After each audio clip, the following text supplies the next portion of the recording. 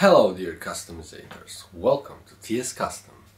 As you may all know, uh, last year we did electric solar boat and we tested it a lot but we had one major problem that was of course ex expected to happen. Uh, the electric motor didn't have any cooling because I simply didn't have enough time to implement it.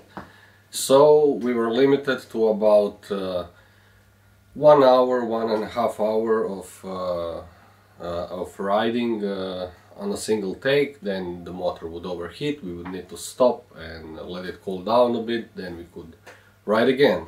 So uh, during the winter I was preparing the water cooling for the motor and there it is all disassembled and already the modification has have been done uh, the main modification is on this stator housing. We will be cooling this uh, stator housing with water. And also this is the front part of the motor. On this part I drilled these holes so the air would go in and cool the cool the rotor. Of course the ambient temperature is going to be a lot better because during the testing uh, this part uh, the stator part of the motor was really becoming uh, very hot. I think we got it up to I, I would be sure to 130 Celsius.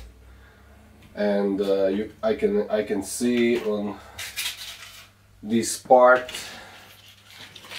uh, that is insulating the windings of the stator. It's this is how it should be looking. This is the good one but this was like it was so heated up that it just the it it cracks and it's not good. So we really test the limits we tested the limits of this motor and almost burned it out. So stick around if you want to check all the modifications I did to this motor and enjoy the video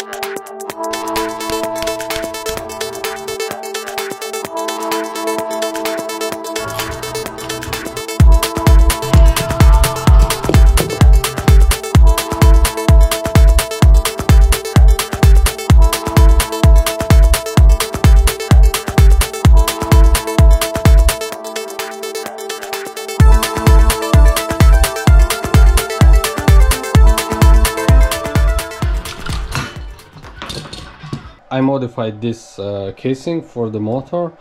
I had this uh, cutouts made on a lathe. And now what I need to do is something like this. This is the 3D model I made of the stator housing of the motor. And this is what I need to do now on the lathe. So these cutouts right here this will be welded on later. And you can see the water is entering here and then goes to this channel and then like here and then it goes here and exits right here. And as you can see I also made this cut like a step here. This is where the uh, steel sheet will go. And then I will just weld weld everything weld everything up and it should be one piece with the channel for the water cooling.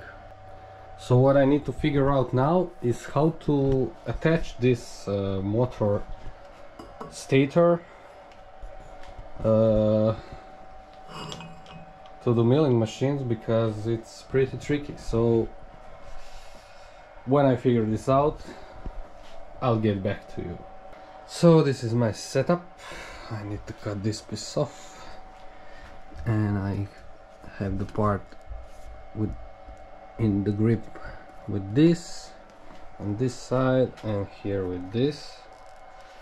And also these clamps are gripping from either side and I hope it will work.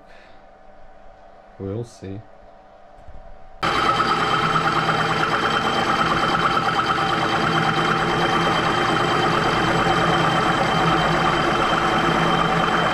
yeah in the end uh, this was not working. I could not get the piece uh, prop properly secured and it was always slipping out so in the end I just grinded the channels out with the good old grinder. And I made this piece. It's going to block the water flow and direct it. Hmm? And now we have to weld this piece and we have my friend. Hi everybody. Kiki. hi. He is a welding specialist. He's going to make his magic. Now we're gonna fill these holes. Yeah. Nice smoking hole. So machine guy went a little bit too deep and now we have to fill these holes so the water would not go through the screw. Excuse me, yes are you from Rimac? no i'm not You are Mate Rimac. no no Ah. Ah. Ah, look hmm popcorn we're making popcorn And now we need to weld this sheet metal like this. shit shit metal Sheet metal Tina ready.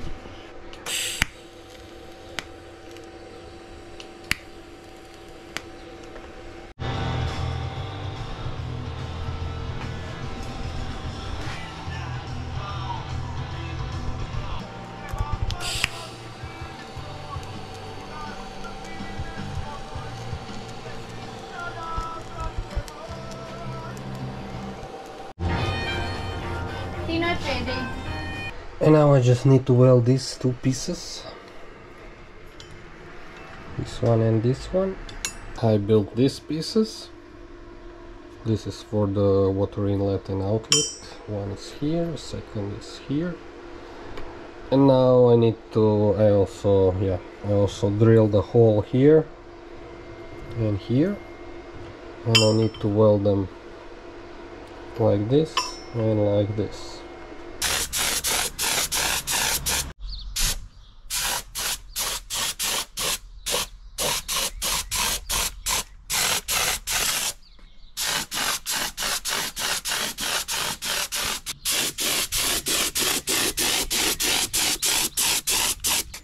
Se ne vidi, evo, to razlika.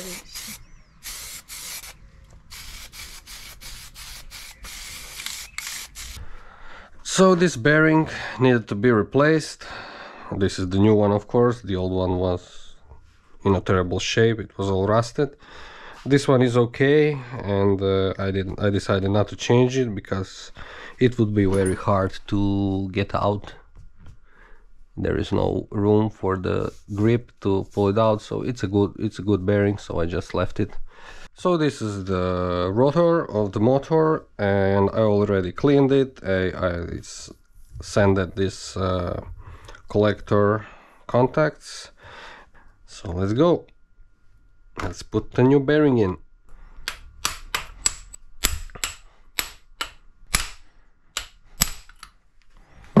These are the stator windings. And This is the protection they had.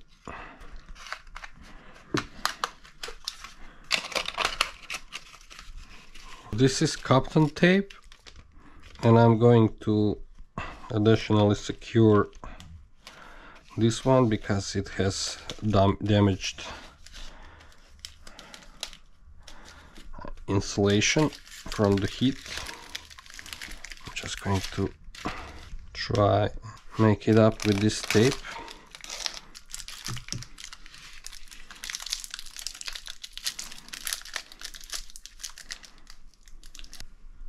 And now I just need to put the windings in.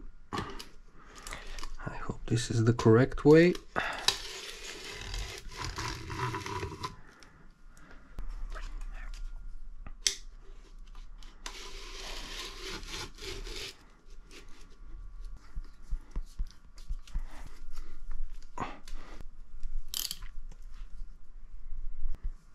I need to clean this up for it to be able to be soldered.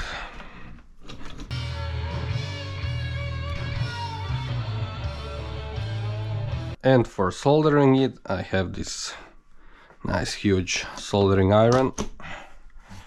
Should do the job.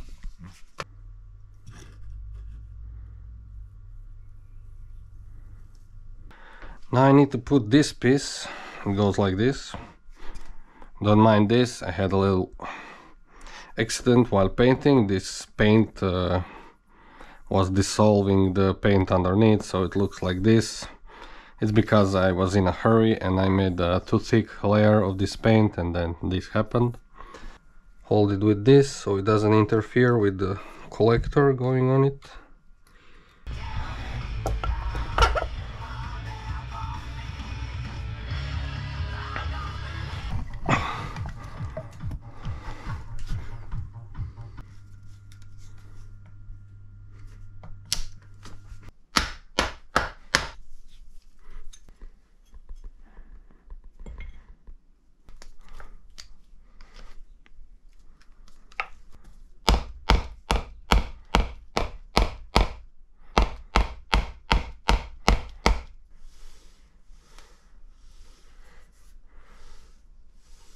And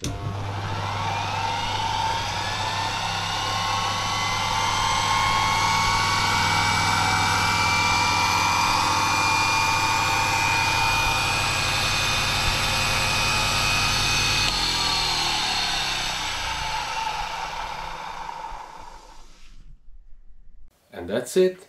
The motor is assembled and tested. Everything for the water cooling has been prepared and the only thing we need to do now is mount it to the boat and see how it goes. Till next time, stay customized.